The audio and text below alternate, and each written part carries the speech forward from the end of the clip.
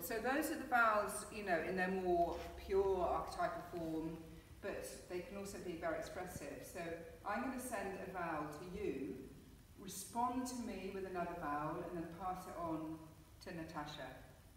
Same vowel. Ah,